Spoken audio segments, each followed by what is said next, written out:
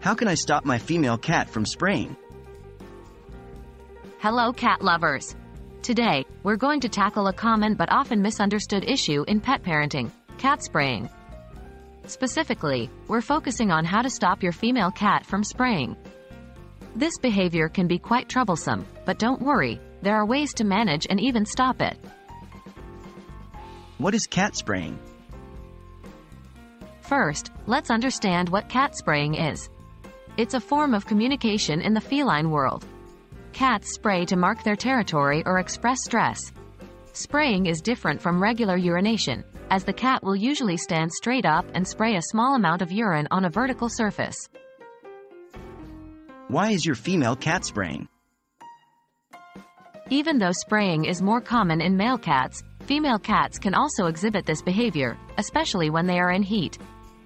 If your female cat is spraying, it's crucial to understand the root cause. It can be a result of stress, environmental changes, or a medical issue. Identifying the cause can greatly help in resolving the issue. How can you stop your cat from spraying? Step 1. Consult your vet. The first step to stop your female cat from spraying is to consult a veterinarian. It's important to rule out any medical problems that might be causing this behavior. Step 2. Spay your cat if your cat is not yet spayed, consider doing so. Spaying often reduces or eliminates this behavior in female cats. Step 3. Reduce stress and changes. Try to keep your cat's environment as stable as possible. Limit changes in daily routines and the home environment. If unavoidable changes occur, try to ease your cat into them gently.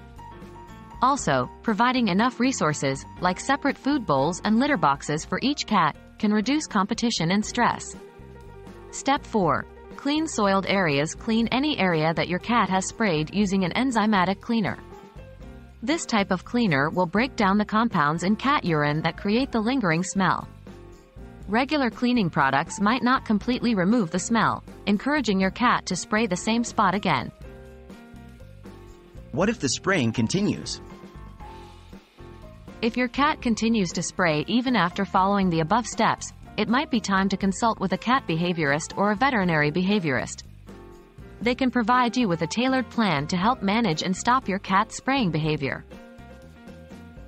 Remember, the key to stopping your female cat from spraying is understanding why it's happening and addressing the root cause.